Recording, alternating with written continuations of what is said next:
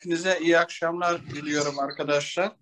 Fakültemizin geleneksel olarak düzenlediği kitap saatlerinin bu akşamında e, Türk Dili ve Edebiyatı bölümünden doçent doktor Veli Uğur hocamız Hayalet Kenti kadınlarını anlatacak. E, dolayısıyla e, bu seneki üçüncü programımız bu dönem. E, yine kitap saati programımız e, gelecek haftalarda da devam edecek. Şimdi Veli Hoca Hayalet Kentin Kadınları adlı kitabı anlatacak bize. Ee, hocam buyurunuz.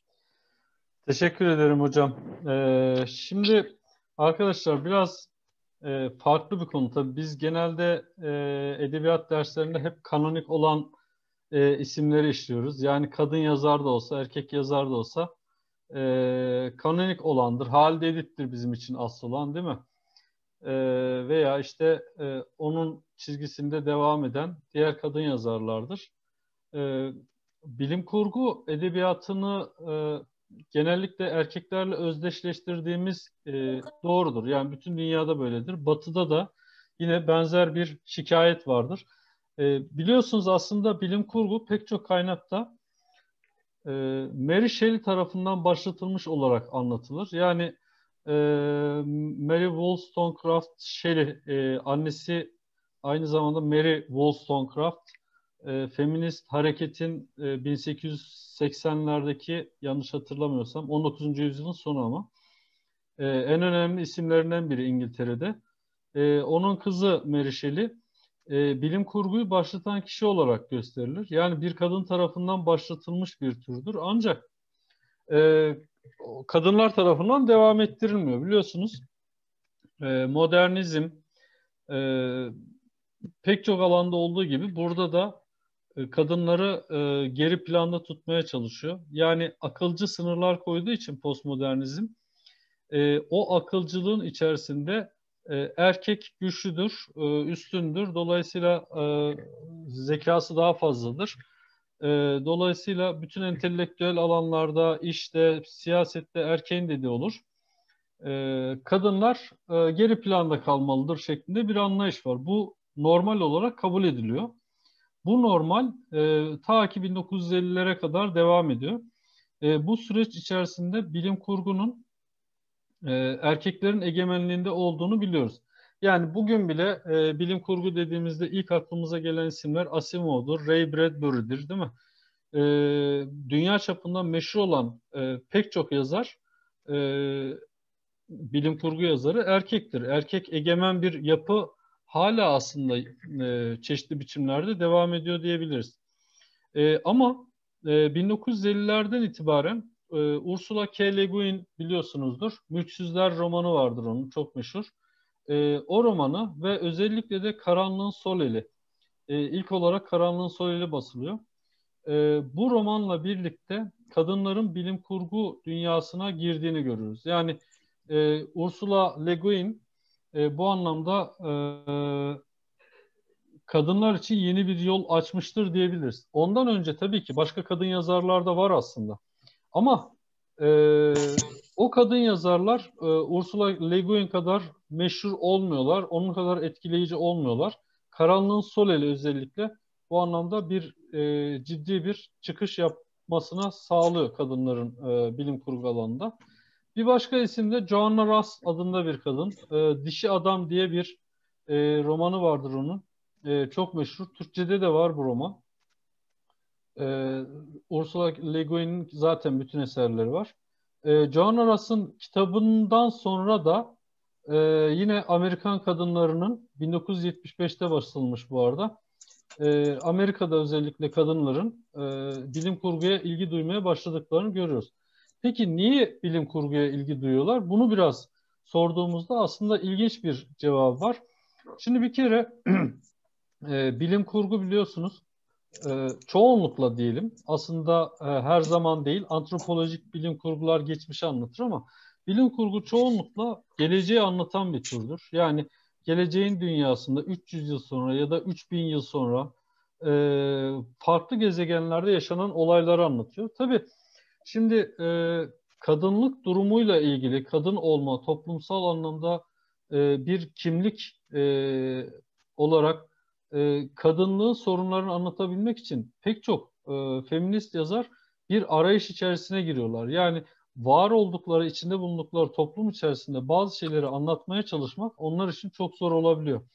Bunun için de e, geleceğin dünyasında e, bir e, ortam hayal edip orada toplumsal e, kimlikleri, bütün bu cinsel kimlikleri, sonra edindiğimiz çoğunlukla sonra edindiğimiz cinsel kimlikleri tekrar baştan kurabilecekleri bir ortam tahayyül edebiliyorlar. O nedenle yani diyelim ki Ursula Le Guin'in Karanlığın Sol elinde androjenlik var. Yani çift cinsiyetlilik. Böyle olunca ne oluyor? Yani çift cinsiyetli bir roman kahramanı olduğunu düşünün. Onun tek bir cinsiyetin e, alışkanlıklarını, e, onun değerlerini sahiplenmesi gerekmiyor.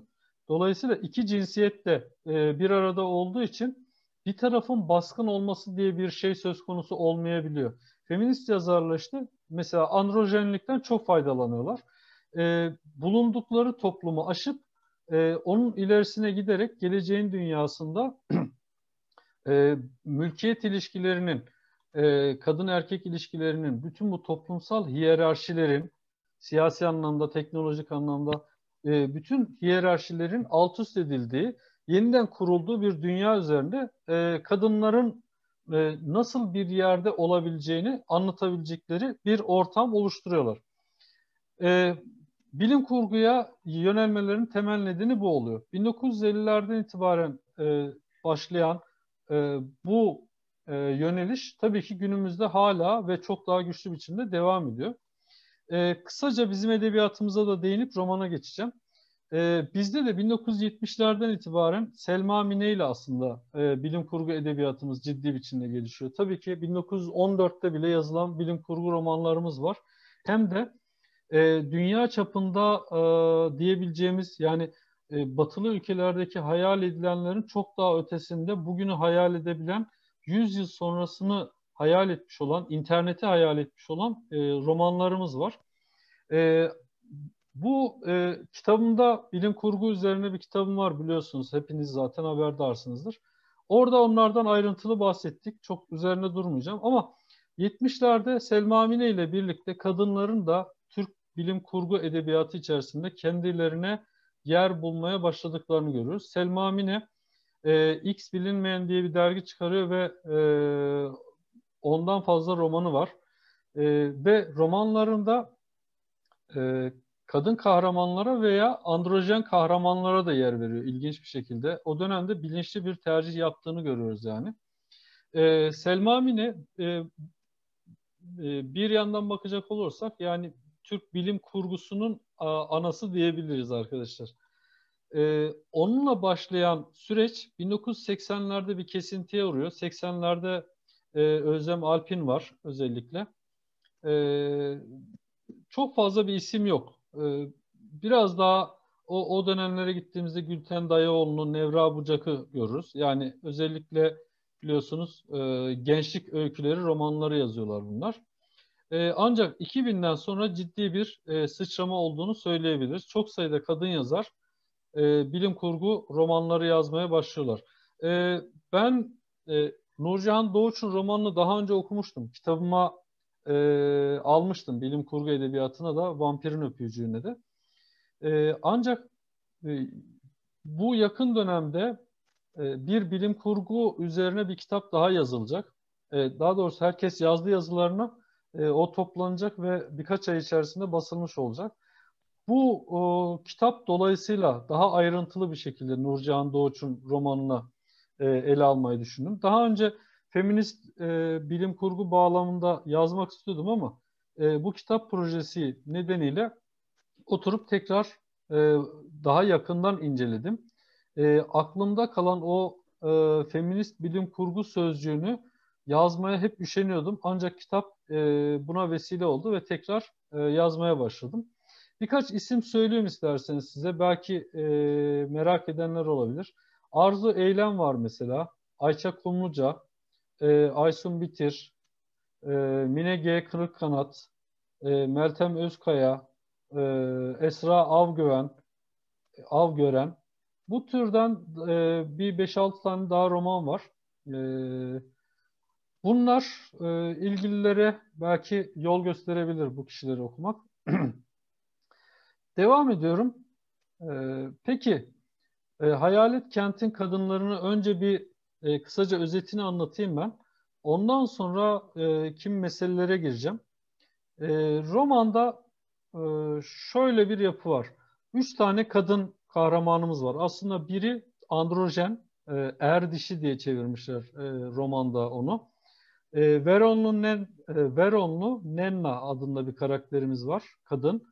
Dünyalı Selcan var. Bir de Saga gezegeninden Loom adında bir androjen var. E, içlerinde erkek yok dikkat ederseniz. Bu önemli, buna geleceğiz. E, bunlar e, İnci Kız diye bir gezegene gidiyorlar. Bir kadın ismi olan bir gezegen. E, o gezegen e, galaksi birliğinden ayrılmak ayrılmıştır. Neden ayrıldığını veya e, geri dönme e, ihtimali varsa bunu hızlandırmayı araştırmak üzere gidiyorlar.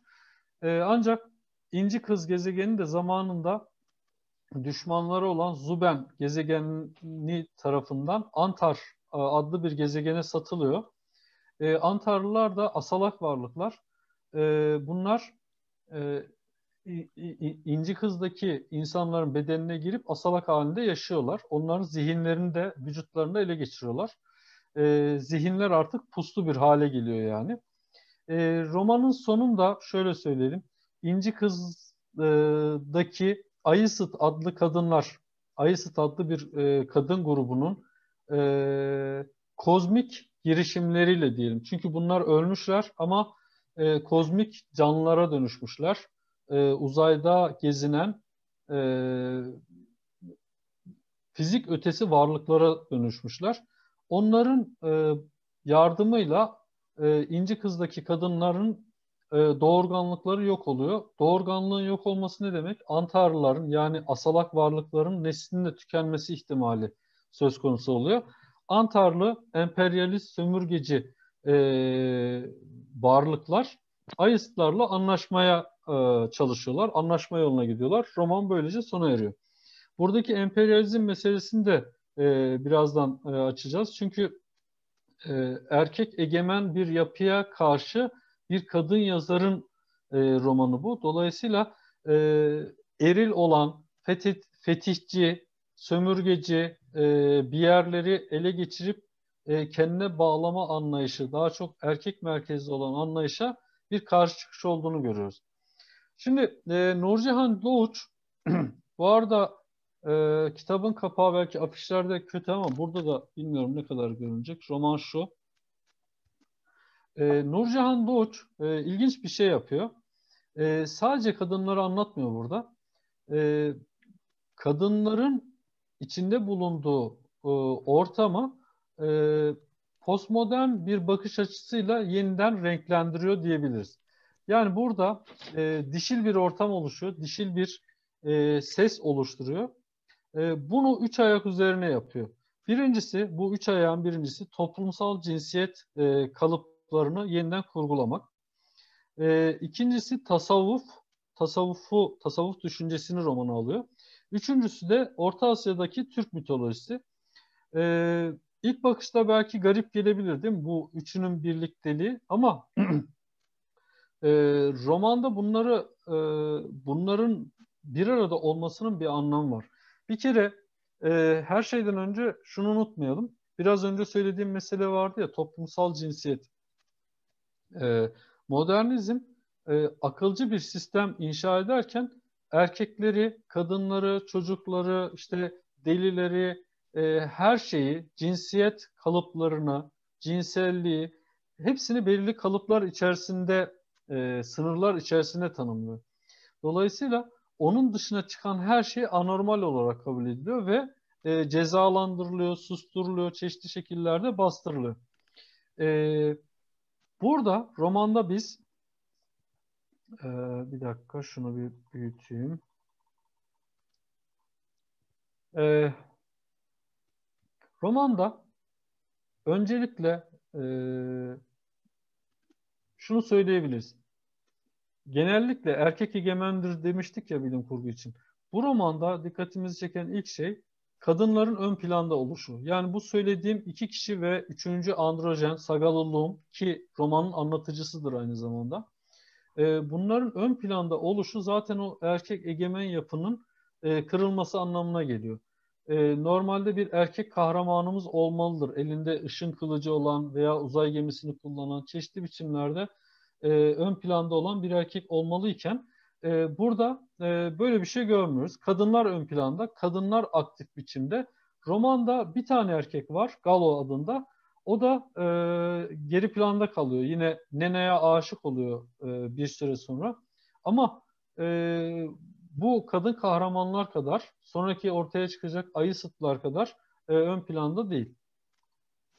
E, bir başka şey, e, aşkın kendisi. E, modernizm dedik ya, sapkın, e, marjinal, sıra dışı gibi isimlerle normal dışı olan, normal gördüklerinin dışında olanları e, cezalandırıyordu. Burada e, biz e, aşkın e, yaşanış biçiminde de e, bu anormalliği görürüz. Tırnak içinde kullanıyorum. E, mesela e, daha önce Dünyalı Selcan adındaki kahramanımız e, İnci Kız gezegenine gelmiştir. Orada e, Ayısıtların liderlerinden olan, o kadınlardan biri olan Kanike adlı bir kadınla e, bir aşk ilişkisi yaşamıştır. yaşamıştır. Dolayısıyla e, bu aşkın sunumu e, modernizmin kurallarına, akılcılığına aykırıdır. Burada bir isyanın olduğunu görürsünüz. E, bir başka şey, e, ilerleyen kısımlarda biz Sagalı Lum'un yani Erdişi dediğimiz androjen kahramanımızın da e, Nene'ye yönelik ilgisinin giderek arttığını görürüz. Roman içerisinde bu e, onu tasvir ederken kullandığı sözcükler gittikçe e, farklılaşır. Saçlarını sürekli ateşe, kıvılcıma vesaireye benzetir mesela. E, bir başka şey bu e, kadın sesinin romanda ön plana çıkmasını sağlayan şeylerden biri de e, dilin kullanımı. Şimdi bir erkek edebiyatçıyla, e, erkek romancıyla veya bir erkek roman kahramanıyla e, kadın olan arasında çok fark olduğunu e, yakın okumalardan anlayabiliyoruz. Yani e, romanı veya herhangi bir metni kadın mı erkek mi yazmış kelime seçimlerinden bile aslında anlamak mümkün değil mi? E, burada mesela biz ilginç bir şekilde bu e, kadınların daha titiz olduğu, daha dikkat ettiği kimi kelimelerin ön plana çıktığını görüyoruz. E, ve bu da özellikle e, renklerde dikkatimizi çekiyor. E, mesela ördek başı yeşili diye bir renk var. Çağla yeşili, yosun yeşili, çimen yeşili, asit yeşili, timsah yeşili. E, bu türden bir renk duyarlılığı olduğunu, bu söylediklerim hepsi romanda geçiyor. Yeşilin tonlarını ayırabilecek bir tanımlama içerisinde olduğunu görüyoruz. Şimdi pek çok e, feminist akademisyen e, kadının o dişil sesini oluşturan e, unsurlara dair çok şey söylemişlerdir. Yani e, romanda gözyaşının olmasından tutun da e, kadının yaptığı işe kadar pek çok unsur aslında e, onun toplumsal kimliğinde yani kadın olduğunu bilmesek de toplumsal kimliğine dair pek çok şey verebiliyor ve romanın sesinin di, dişil mi eril mi olduğunu belirleyebiliyor. E, burada işte renklerin özellikle e, o dişil sesi ortaya çıkaran, ele veren veya e, özellikle bile, bilinçli olarak dişi sesi duyuran e, unsurlar olduğunu görüyoruz. Peki bir başka şey bu androjenlik meselesine de kısaca değineceğim. 1960'lı yıllardan itibaren çok sayıda e, kadın yazarın kullandığı bir şey demiştik. E, Sagalı Loom'un geldiği gezegende mesela şöyle bir durum olduğunu öğreniyoruz biz. e, erkek ve kadın cinsleri yok. E, üreme iki varlığın birleşmesiyle gerçekleşmez. Bölünme yoluyla hücreleri kendinin aynını üretmektedir. Dolayısıyla e, Saga gezegenindeki insanlar için e, iki, var, iki ayrı varlık yok. E, farklı e, olmayan, birbirine çok benzeyen iki tane e, cinsiyet e, üremenin e, neslin devamını sağlamasına e, e, ya, nasıl sağlamasını e, gerçekleştiriyor. Yani cümleyi düzelteyim, bozdum. E, iki farklı cinsiyetin olması gerekmiyor neslin devamı için. Peki iki farklı cinsiyet olmayınca ne oluyor? Cinsler arasındaki hiyerarşi ortadan kalkıyor ve yazarın hayal ettiği o e, geleceğin dünyasında farklı cinsler olmadığı için, hiyerarşi olmadığı için işte modernizm karşıtı bir ortam oluşuyor. Yine postmodernizmin e, katkısıyla yapılan, ortaya konulan bir dünya bu yani. E, bundan sonra anlatacaklarında da biz postmodernizmin etkisini yoğun olarak göreceğiz. E, peki, mesela e, kadınlıkla ilgili dişil gücün zaman zaman romanda yüceltildiğini görüyoruz. Şu sözler romanda geçiyor. E, boşuna dememişler inci kız diye. Onda bir cevher varmış, inci varmış. Nereden bilirdik incideki sihiri? O sihir ki bitmez tükenmez bir kaynakmış. O sihir ki dişil enerjiymiş diyor. E, bu dişil enerji meselesine daha sonra e, başka yerlerde de değiniyor romanın. Yani dişil enerjinin evreni var ettiği, doğurduğu, ürettiği, e, büyüttüğü e, düşüncesi farklı yerlerde karşımıza çıkıyor. E, peki bu dişil enerjinin e, biraz önce özeti e, aktarırken söylediğim şeyler vardı ya. E, dişil enerjinin doğurmaktan vazgeçmesi e, neslin devamına dair bir tehdit e, ortaya koyması e, yine e, karşıdaki gücün, eril gücün boyun eğmesine neden oluyor. E, burada tabii e, şunu söyleyelim. E, şurada bir dakika. E, Yula adı verilen kozmik kişilerden bahsetmiştik ya, kozmik varlıklardan.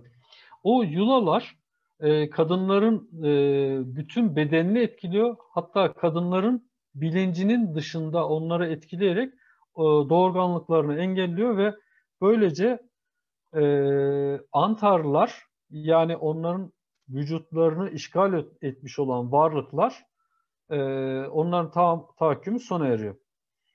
Peki bir başka şeye geçeceğim. Tasavvuf. ikinci başlığımız tasavvuftu. Toplumsal e, cinsiyet kalıplarından sonra. Şimdi tasavvufun ne alakası var e, bilim kurgu romanıyla? İlk bakışta bana da çok garip gelmişti. Ancak biraz yakından baktığımız zaman e, bunu görebiliyoruz. Şöyle ki, e, modernizm biliyorsunuz sürekli ilerleme üzerine kurulu bir düşüncedir. Yani sürekli ilerleme, gelişme, kar etme, büyüme e, bunlar üzerine kuruldur. Ve bütün modernist sistem, bütün o akılcı sistem aslında e, gelişme sistematiğini e, hayata geçirmek içindir. Bu düşünceyi e, sistemli bir şekilde e, yaşamak içindir, yaşatmak içindir. Postmodernizm ise bu kalıplara karşı çıkıyordu değil mi? Peki tasavvuf nasıl bir dünya öneriyordu? Tasavvufta biliyorsunuz e, dünya malının e, hiçbir önemi yoktur. Önemli olan insanın kişiliğidir. E, Tanrı'ya olan yolda nerede olduğu, nereye vardığı ve varmak istediğidir. E, bu nedenle tasavvuf kalıpları tasavvuf düşüncesi modernist kalıpları e, ters yüz eder diyebiliriz. Ve burada da tasavvufun özellikle bu batıni yanının çok vurgulandığını görürsünüz rom, e, romanda. E, bir kere çok sayıda tasavvufi e, tasavvuf düşünürü, e, ozanı, e, onların e, sözlerinden, şiirlerinden, kimi zaman türkü haline gelmiş metinlerden alıntılarla alınır ve e, ba, e, zahiri olanın yerine batini olanın aslında önemli olduğu, ona varmak gerektiği romanda da yine karşımıza çıkar. Peki, zahiri olan işte yine modernizmin temsil ettiği fiziksel gücü, fiziksel olanı, e, dış dünyayı e, temsil eden bir e, yapıdır. E, batınilik ise e, içe dönük bir yapıdır. İçe yönelmeyi e, hedefleyen bir yapıdır. E, bu nedenle vurgulandığını görürsünüz. Mesela e, romanda geçen bazı kelimeleri sayayım. Hemen anlayacaksınız. Çok ayrıntıya giremiyorum zamandan dolayı. E, tasavvufi kelimeler şunlar. cezbe, marifet, dem, devriye, devri daim, cüz, kül, lamekan, divane, alem, seyir sefer böyle gidiyor. E, 8-10 tane daha kelime var.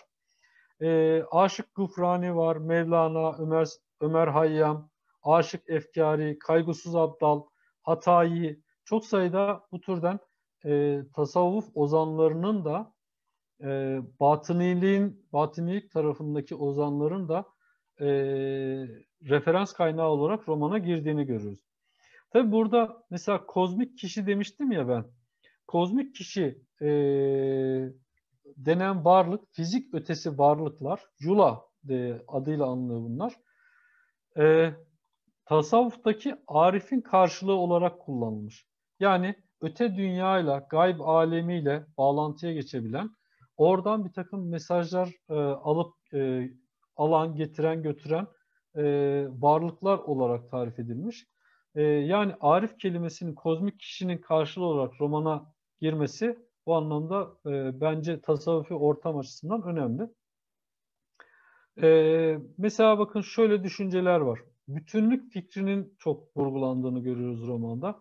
Bir olma, bütün tabiatın birlikte oluşu ve e, o birliği arayış, bütün varlıkların o birliğin peşinde koşma e, isteği.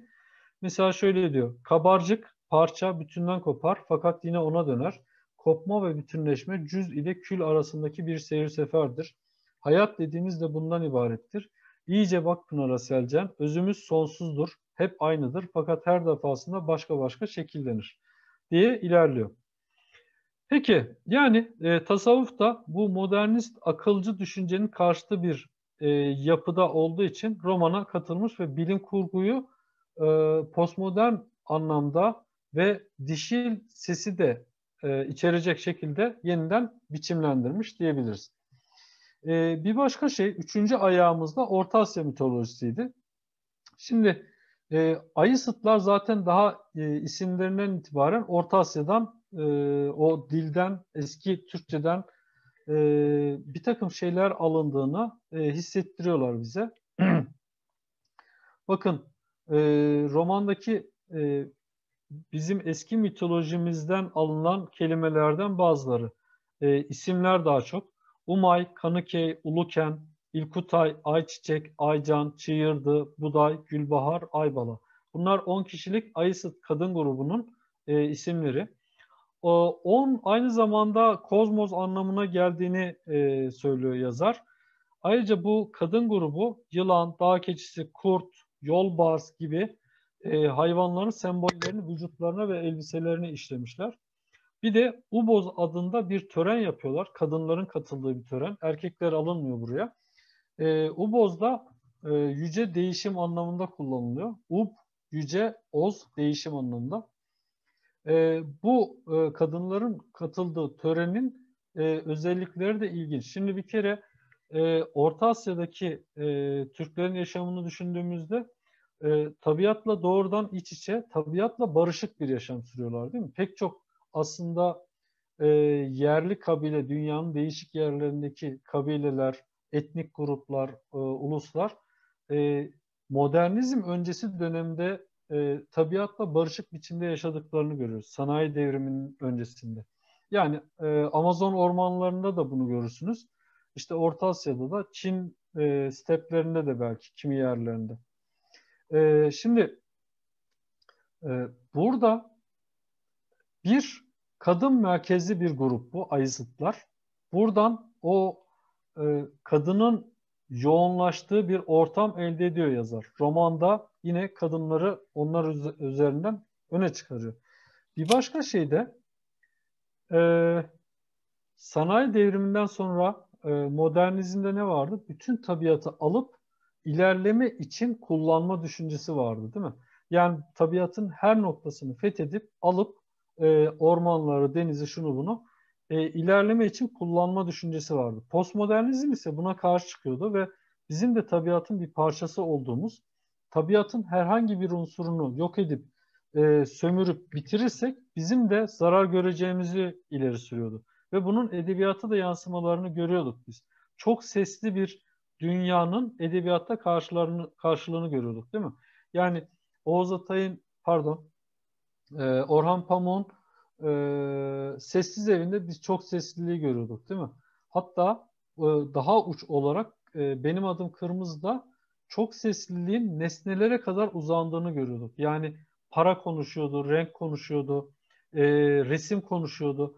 Yani sadece insanlar, hayvanlar ve bitkiler değil, canlılar değil, cansızların da konuştuğu bir çok sesli ortam yaratıyordu Orhan Pamuk. Şimdi burada da e, işte insan dışındaki doğayı ciddiye alan, insan dışındaki doğayla barışık kalmaya karışan, e, e, çalışan bir kadın grubuyla karşı karşıyayız. E, bunlar e, karanlık bir ortamda, sessiz bir ortamda e, ve ağaçların özellikle olduğu bir yerde e, tören yapıyorlar, Ubos törenlerini. Bu törenlerde kendilerince dans ediyorlar. Tabiatla e, bilinç dışı bir ilişkiye giriyorlar. E, onun enerjisini toplayıp e, liderleri olan Umay'a aktarıyorlar ve Umay da e, öte alemlere geçebiliyor. Dolayısıyla farklı bir e, evrene geçip fizik ötesine geçip e, orada e, var olabiliyor, hareket edebiliyor, düşünebiliyor. E, bu tabiatla birliktelik meselesinin işte postmodernizmin bir ürünü olduğunu söylememiz mümkün e, düşüncesinin. Yani daha önce var olan modernizmin unutturmaya çalıştığı ama sonradan tekrar hatırlanan bir e, yaklaşım. Bu, postmodernizmin yaklaşımıyla Orta Asya'daki e, Türklerin yaşamlarının birleştirildiğini görüyoruz. Onların doğaya bakış e, bakış biçimlerinin birleştirildiğini görüyoruz. Biliyorsunuz gök tanrı anlayışı var e, Orta Asya'daki Türkler arasında. O gök tanrının e, tabiatın çeşitli unsurlarını kontrol eden, onun altında başka tanrılar, ilahiler, ilahlar var. E, adları değişebiliyor kaynaklara göre. E, ama e, bütün bunların güçlerini e, tabiata yaydıklarını görüyoruz. Yani e, Orta Asya'daki Türk Türkler e, tabiattaki diyelim ki depremleri, e, yağmurları, fırtınaları düşünürken onları da o e, ilahlarla birlikte anıyorlar değil mi? Kimileri bunun çok tanrılı bir inanç olduğunu söyler. Kimileri tek tanrılıdır ama altında farklı e, varlıklar vardır, e, kutsal varlıklar vardır diye kabul eder. E, her halükarda e, şimdiki e, anlayışımızdan çok farklı olduğunu, doğayla iç içe olduğunu söyleyebiliriz o inancın değil mi? E, peki, bir de tabii şeyi unutmayalım. Eski Türklerde kadının konumu çok daha farklı bir yerdeydi değil mi? Şimdi burada da e, erkeklerin karşısında kendini var edebilen bir kadından bahsediyoruz. Eski Türklerde de böyle bir konumdaydı. Yani tamam iş olarak, pratik olarak belki günlük işlerden bir kısmını kadınlar yapıyordu, önemli bir kısmını ama e, toplumsal değer, e, kimliğine verilen değer anlamında çok farklı bir konumda olduklarını söyleyebiliriz. E, bu da işte Türk mitolojisinin romana alınmasının nedenlerinden biri diye düşünüyorum. E, o ortam zaten e, Orta Asya'nın o mitolojinin hatırla, e, bize hatırlattığı ortam zaten kadının e, değersiz görülmediği e, ön, toplumun en önemli parçalarından biri olarak görüldüğü bir ortam. E, yazar işte tasavvufla birlikte bu ortamı da romana taşıyarak o dişi sesi güçlendirmeye çalışmış diyebiliriz. Peki yani e, kısacası e, Nurcihan Doğuç e, postmodernizmin imkanlarıyla e, toplumsal kimliği yeniden inşa ediyor romanda. E, kadınlar arası aşk ve androjen e, cinsel kimlik üzerinden. Sonra e, tasavvufu romana katarak bu modernist akılcı bakışın karşısına iç dünyaya yönelik bir bakış koyuyor. Sonra kadınların e, çok önemli olduğu Orta Asya Türk toplumlarından bir takım inançları da getirip romana katarak e, kadınları tekrar ön plana çıkarmaya çalışıyor. E, zaten romanın genelinde o kadın egemen bir ortam var. E, dediğim gibi tek varlık e, e, ise Galo ise e, geri planda kalan bir erkek oluyor. Kadınların dışındaki, er dişinin dışındaki tek varlık. E, bütün bunlarla birlikte dişi sesin egemen olduğu geleceğin dünyasını anlatan bir bilim kurgu romanı oluşturmuş e, olarak karşımıza çıkıyor Nurcihan Doğuş. E, bizim romanımızda önemli örneklerden biridir. E, mesela bir başka örnek Özlem Alp'in Kurt, e, Kurdoğlu'dur. E, Nurcan Doğuş'tan çok daha önce yazmıştır ama Özlem Alp'in biraz daha batılı macera romanlarına benzer bir tarzı olduğunu söyleyebilirim. Ee, yani buradaki gibi e, felsefi altyapı üzerine çok düşünmediğini söyleyebilirim. E, o türden kadın bilim kurgu yazarlarda çokça karşımıza çıkıyor yine. Peki ben e, biraz hızlı konuşmaya çalıştım ki e, bir 10 dakika kadar zaman ayırayım. Çünkü soru olabilir, bir şeyler söylemek isteyenler olabilir. E, ben teşekkür ediyorum buraya kadar dinlediğiniz için. Ekleyecek olanlarınız varsa e, bilim kurguyla, feminist bilim kurguyla ilgili veya anlattığım meselelerle ilgili e, söz alabilirler arkadaşlar. İstediğiniz gibi konuşabilirsiniz. E, var mı ekleyecek olan bir şey? Biri. Şurada çete bakalım bu arada. Evet, Ayızıt güzellik tanrıçası kimi yerlerde ilahi deniyor, kimi yerlerde işte kutsal varlık deniyor. Ben e, makalede bunları biraz daha ayrıntılı işledim. Yani e, Ayızıt'la ilgili Umay mesela e, sadece bir isim değil, yine kutsal bir e, kadın varlığın, çocukların e, ağzına süt gölünden e, hayat e, iksirini getiren ve yaşamının devam etmesini sağlayan bir varlığın ismi. Kimi yerlerde Umay, Ayızıt aynı anlamda kullanılıyor bu Orta Asya mitolojisinde. Hala da bunların bir kısmı yaşıyor bu inançlar, onu söyleyelim. Yakutlar arasında falan var mesela. E, makalede işlediğim için burada çok uzun e, şey yapmayayım dedim, üzerinde durmayayım dedim. Evet, yeşil renk doğurganlığı temsil ediyor. Acaba bu nedenle bu renk vurgulanmış olabilir mi? Olabilir. Ee, ben ilk gördüğümde renklerin bu kadar e, yoğun kullanılışını gördüğümde o dişil dilin bir parçası olarak düşündüm ama eğer böyle bir evrensel bir karşılığı varsa e, mantıklı bence. Romanla çok uyumlu oluyor zaten. Doğurganlık ve yeşil renk ilişkisi yani. Başka yazarı anlatıcı olarak Neno'ya daha Selcan değil de ha, Luğum'u seçmiş olması. Evet doğru. Yani e, kadın tarafını doğrudan merkeze e, anlatan kişi. Çünkü şöyle bir durum da var arkadaşlar. Anlatan aynı zamanda hiyerarşiyi kuran kişidir. Yani bir metinde tarihi düşünün, tarihte de öyledir. Yani kim anlatıyorsa tarihi hiyerarşiyi o değil mi? Güç onun elindedir. Burada da androjen varlığı kullanmasının böyle bir e, karşılığı var. O toplumsal hiyerarşik kalıpları kırmanın en iyi yolu e, o toplumsal e, kutupların birini öne çıkarmak yerine androjeni öne çıkarmak. İkisinin ortasında yer alan bir varlığı öne çıkarmak değil mi? Bir de çok önemli bir şeyi değinmeyi unuttum. Hemen hızlıca değineyim.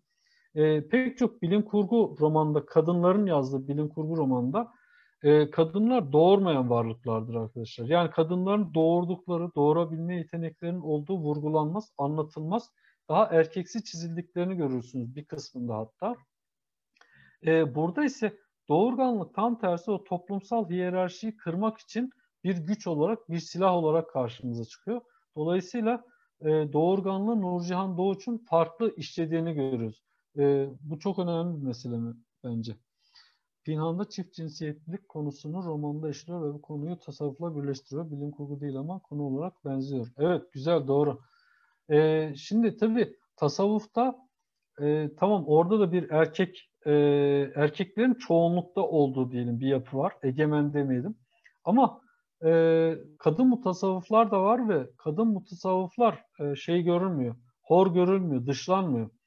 E, dolayısıyla daha liberal bir ortam olduğunu söyleyebiliriz tasavvuf içerisinde. Yani klasik bu e, şeriat düşüncesinin içerisinde Oldu. baktığınızda e, kadının yeri çok daha geri plandadır. Tasavvuf e, ehli olan kişiler arasında kadın daha farklıdır, daha önemlidir. Çünkü doğanın bir parçasıdır, Tanrı'nın yarattıklarından biridir. Tasavvufçular kadına daha farklı bakarlar. E, Elif Şafak'ın bu şekilde işlemesinin e, anlamı da o tasavvufu ön plana çıkarmasının. e, bir e, androjen kimliksiz e, veya klasik kimliklerden bağımsız bir kişilik. Bir de e, modernist e, kuralların, çizgilerin dışına çıkmış bir kişilik olarak bu şeyleri, toplumsal kimlikleri kullanıyorlar. Evet, çok hızlı konuşuyorum biliyorum ama arkadaşlar belki soru soracak olan olabilir yine. Eklemek istediğiniz. Bu ilginçmiş. Pinhan'ı ben çok yıllar önce okudum. Hiç hatırlamıyorum Orkun bu arada. Bu gözle bir daha okumak lazım. Ee, kadın yazarların günlük kurulunda genellikle embriyo makineleri... Evet doğru. Doğru. Doğum kadın için büyük bir eziyettir. Doğru. Eziyettir. Dolayısıyla kadınlık e, e, işlevlerini diyelim genel olarak hem toplumun kadınlara yüklediği o görevleri e, üzerlerinden atabilmek için hem o hiyerarşinin altında ezilmelerine bahane vermemek için doğurganlığı reddediyorlar değil mi? Pek çok radikal feminist. E, burada ise bence çok daha akılcı bir şey yapılmış. E, doğurganlık üzerinden doğur, e, doğurmama tehdidiyle karşılarındakilerini dize getiriyorlar. Bir sömürgeci medeniyeti dize getiriyorlar değil mi? E, bence Nurcan Doğuç e, güzel bir e, yaklaşımda bulunmuş arkadaşlar. Öyle söyleyebiliriz. E, şeyleri tavsiye ederim. Diğer kadın yazarlardan da ben birkaç tane okumuştum. Gerçekten güzel yazıyorlar. yani şey gibi söyledim ben de. Hayret kadınlar da yazabiliyormuş gibi söyledim belki ama e, yani yerleşik olan edebi ortamda biliyorsunuz kadınlar hep dışlanmıştır. Hele hele bilim kurgu gibi bir alandan tamamen dışlanıyorlar. E, bu alanda e, iyi ürünler yazabilmeleri gerçekten başarı. Bizim bilim kurgu edebiyatımız için de e, önemli bir kazanım arkadaşlar. E, farklı bir bakış açısıyla yazdıkları için e, çok yaratıcı olabiliyor. Bir yandan da sıraya bakıyorum da. Peki içinizde okuyan var mı ee, kadın bilim kurgu yazarlarını? Bilim kurgu belki okumuş olabilirsiniz ama galiba yok değil mi? Ee, Batı da çok ilgi görmüş arkadaşlar. Bizim ülkemizde ilk defa yeni yeni ee, şey yap, nasıl diyelim öne çıkmaya başladılar. Evet 2000'lerden beri yazıyorlar ama e, bu e, yaratıcı bir takım e, kurguları, e, düşünceleri e, onları yeni yeni görünür hale getirmeye başladı. Bu arada benim e, kitap bölümü olarak yazmıştım, yazdığımı söylemiştim.